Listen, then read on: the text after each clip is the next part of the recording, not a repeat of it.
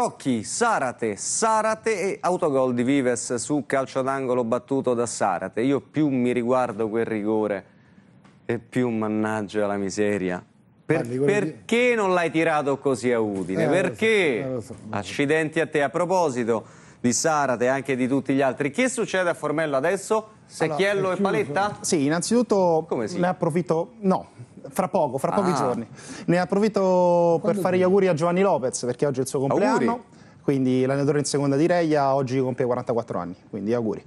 Allora, iniziamo col dire che la tournée eh, che doveva portare la Lazio a Teheran dal 24 al 29 maggio è stata annullata, questo già da qualche giorno. sollievo nello- negli spogliatoi. Esatto.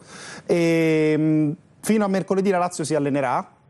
E giovedì ci sarà eh, il rompe delle righe, quindi ci sarà vacanza per i giocatori biancocelesti. Eh, proprio mercoledì ehm, ci sarà, eh, l'allenamento sarà seguito da un pranzo e da un brindisi per salutarsi e molto probabilmente ci sarà un- l'ultima conferenza stampa della Aspetti- stagione. aspettiamo conferma, al momento non è, non è, non è di- programmata. di, di direi, insomma, un- È un'idea. Il saluto del tecnico, la squadra si ritroverà eh, a Auronzo di Cadore e tra l'altro è uscito- sono uscite le date da, da poche ore, Ah. sono? dal 10 al 30 luglio.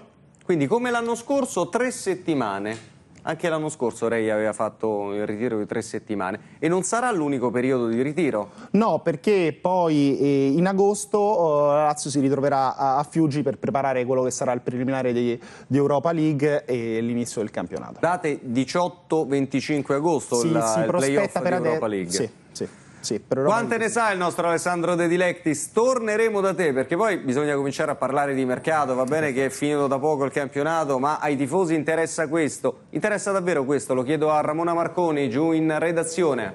Sì, Ramona! Non Sì, devi sì. fare così, Come devi, stai? devi mantenere la calma. Bene, bene. Eh sì, Il calciomercato è sicuramente l'argomento più trattato. Tipo, ecco, Francesco ci chiede, fonti attendibili danno Lichsteiner alla Juve. Al suo posto come vedete Cassani a destra e Criscito a sinistra, Corrado finalmente al centro della difesa?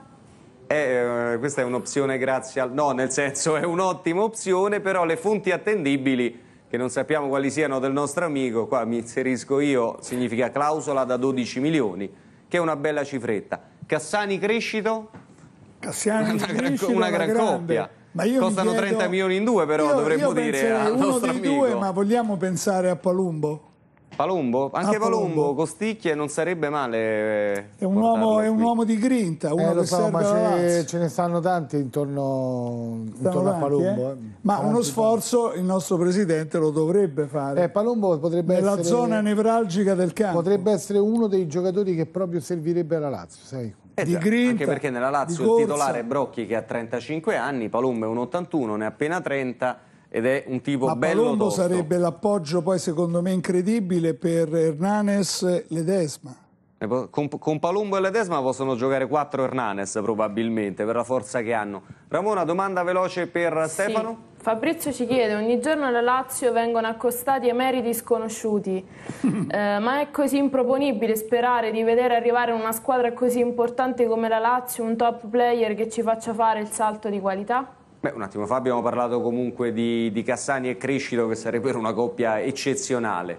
Sul top player tu pensi, nonostante quello che abbiamo sentito No, da Lotito, che possa arrivare un nome stuzzicante, no? E Reia che ha parlato di quei tre nomi per l'attacco, uno dei tre sarebbe stuzzicante. So I che a te. Gilardino piace. a me chi? piace da morire. Chi? Beh, quello, quello è un top player. o manco- o Eh, ho capito, però arriverà, non lo so io se arriverà. Guarda che Girardino Boh. è uno che va in doppia cifra tutti gli anni. eh. Al- Alla Lazio serve uno di quelli, poi magari può piacere o non piacere, però comunque come... Ma noi abbiamo Kozak. No, no, Facciamo no, una scommessa scherziamo. sul giovane Se serve allora e guarda, mettiamolo in io, centrocampo è un gioco, solido. Tanto il calciomercato è un gioco. Io venderei un- io vende- farei anche un po' di cassa, perché un giocatore come Licksteiner, se, se la Lazio riuscisse a fare 11-12 Ma milioni di quella, euro... quella è la clausola, non, è- perfetto. non c'è trattativa sotto No, quella no, cifra. sto dicendo, se eh, riuscisse a fare, nel senso, se, trovasse, se ci fosse una Eh, squadra... piace alla Juve ha altre cifre Eh, disposto- e quindi, quindi non, non a se ne parla 6-7. neanche Eh, Ecco. ma non, non è Poi voglio dire, clausola nel parco attaccanti, malgrado ci sia l'Europa League, e comunque con il ritorno di Rocchi che può inserirsi nella rosa dove ci sono appunto Rocchi, Zarate, Kozak e Floccari, Via voglio- Floccari. Floccari. No, no, adesso questo lo stai dicendo Povero tu. Floccari. Questo lo stai dicendo tu, però insomma io farei cassa con la cessione di un attaccante per eh, comunque andare sul Beh, si mercato. fa cassa con uno solo, non è, non è che l'hai detta generica. Sì, C'è un solo attaccante di questi quattro con i quali No, si fa cassa. no, anche lo stesso Floccari, oltre a Zarate. Con Floccari no? fai cassa, Beh, credi? voglio dire, comunque mm, 5-6 Di otto- milioni di euro. di eh, otto eh, milioni non è la stessa cosa. fare. Vabbè, però sai, unisci gli 11, a- a- agli, Agli a- eh, già diventano 16, ai 5-6 già diventano 16-17, e trovi un... Io per esempio mh, la butto lì, tanto ripeto, il calciomercato è un gioco, io non sono deputato a fare il calciomercato della Lazio e non voglio anche avere la presunzione di dire la verità. Però voglio dire, magari c'è Oddo che sta dicendo che gli piacerebbe ritornare a giocare alla Lazio, se dovesse andare via È vero, lo posso confermare, Se è dovesse andare via me. per una cifra del genere, io Oddo me lo riprenderei, che sicuramente costerebbe una cifra molto eh, più abbordabile, spenderei tutto il resto per un attaccante Beh, di un, valore. ha un ingaggio da, ancora da campione è, ovvio, è ovvio che Oddo verrebbe alla Lazio sapendo Gratis. di, doversi, di doversi... Ma perché sei così fissato con l'attaccante? Sei, come- sei un regliano? No, serve un attaccante che, che- che faccia... Che, Ma non che sono meglio gol. quattro giocatori che fanno otto reti per uno, per esempio? Oppure un attaccante che giochi da attaccante, è una cosa rivoluzionaria. Eh. Ma vi blocco soltanto un attimo perché ci torniamo. Sarà dedicato quasi interamente al mercato il prossimo blocco e anche ad ascoltare delle parole davanti alle quali veramente ci metteremo, Un se non in ginocchio, un giocatore abbasseremo da la quattro testa. soldi. Un giocatore che ha giocato poco. poi. Augusto? No, lui, Ah, ah, non era Augusto. lui proprio coronato Ah, di ok. alloro. Torniamo subito, 1900 c'è un mito, forse pure due. Chi è? Katia? Perché oltre al fatto di essere laziale e presidente di una delle sezioni della polisportiva, stiamo oh, chiacchierando amabilmente con Giorgio D'Arpino. Per un motivo ben preciso, validissimi quelli che abbiamo enunciato fino adesso, per carità, ma ce n'è uno più importante, dato che a, a- due mesi dalla scomparsa di quello che è un po' un papà di tutti i laziali, lo è stato Bob Lovati, Giorgio D'Arpino ha fatto qualcosa di concreto e assolutamente meritorio per onorarne la memoria. Beh, ehm, come io dico sempre, io nella mia vita sportiva ho avuto tre grandi papà e sono stati Nostini, Musumeci Greco e Bob Lovati, perché i miei due sport di riferimento sono stati il fioretto e il calcio.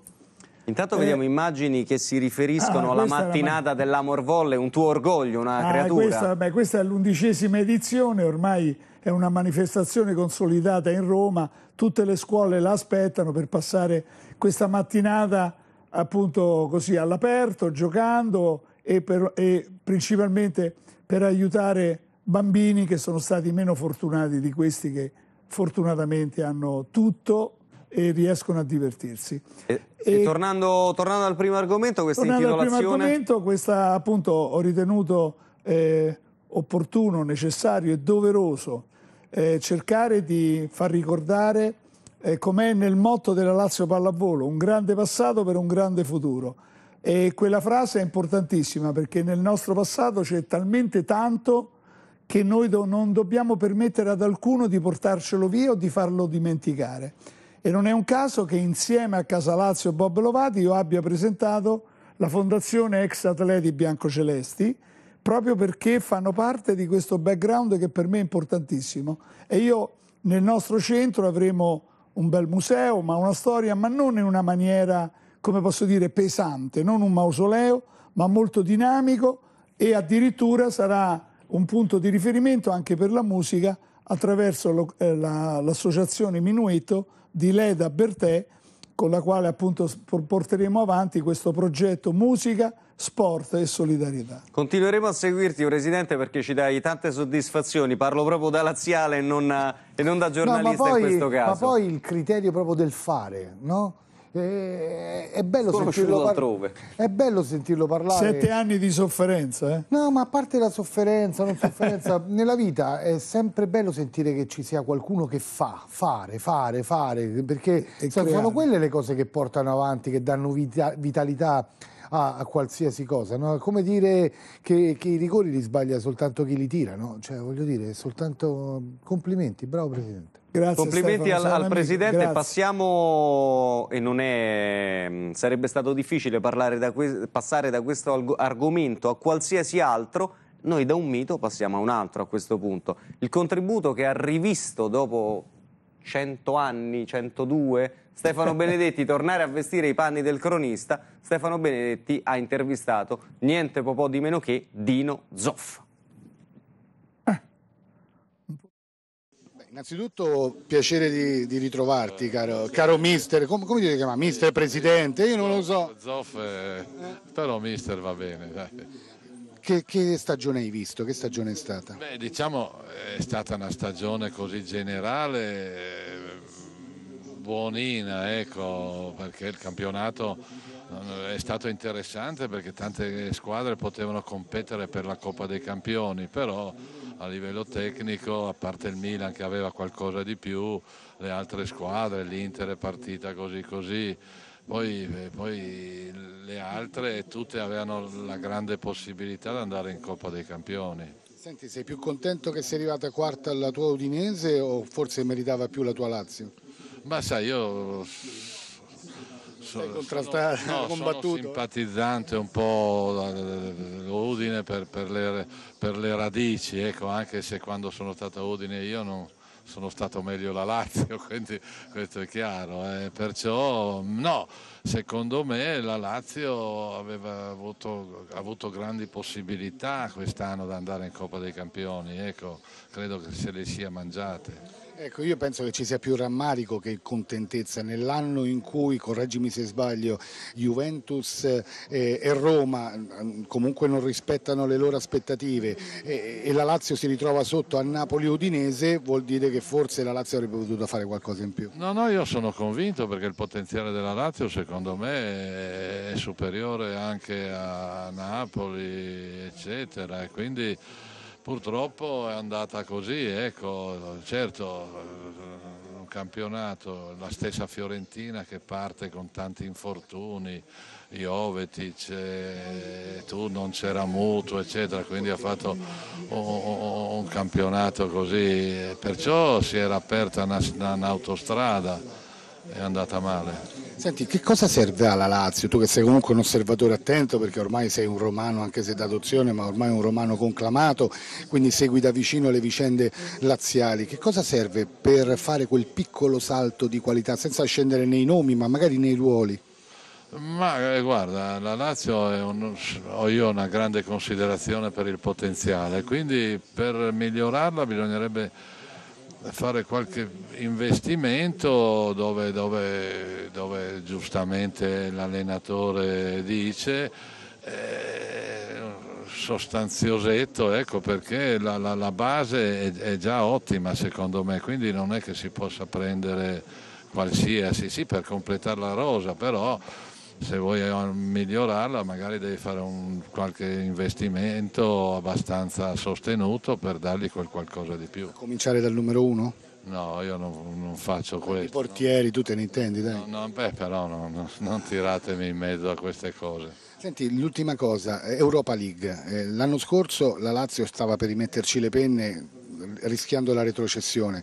Quest'anno è retrocessa la Sampdoria, non solo per il problema Europa League. Come si deve attrezzare una squadra per essere dignitosamente competitiva in campionato e in Europa League? Ma io credo che non abbia bisogno assolutamente, la Lazio così com'è eh, non ha bisogno assolutamente di niente o se non vuol fare qualcosa di più, però non credo che ci siano, la Sampdoria è stato un caso particolare quest'anno perché in una squadra gli togli due giocatori più importanti, tutta- tutti gli altri perdono, perdono convinzione eccetera e quindi non è che perdi solo due giocatori ma ne perdi undici e questa è la musica. La Lazio può fare Coppa e, Coppa e campionato tranquillamente, certo se arriva qualche qualcosina in più tanto meglio, però insomma non c'è problema. Grazie mister Presidente, Presidente mister, grazie Dino. Grazie a voi.